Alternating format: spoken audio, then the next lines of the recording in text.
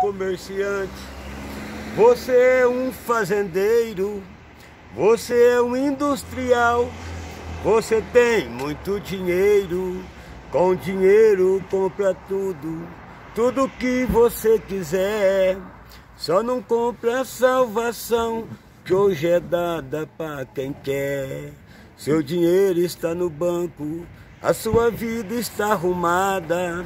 Você entra no seu carro, saia todo disparado, mas não pensa que um dia vai finar esta jornada e não tem a salvação que pra mim não custou nada.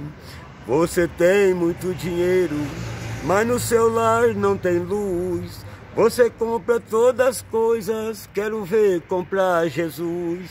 Jesus Cristo não se compra, porque Ele é um comprador. Já comprou bem caro com seu sangue e seu amor. Eita, glória! A Bíblia diz que é difícil um rico entrar no céu, porque o seu coração está preso no dinheiro. Porém, se um homem rico com Jesus se consertar, terá de Deus o perdão e no céu vai descansar. Aí, Quer ó. outro? Vai. É, jogando água aqui. Bate, bate, bate, coração. Bate e não para de bater.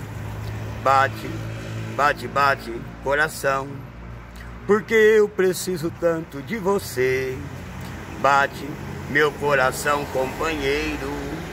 Ainda não é hora de parar.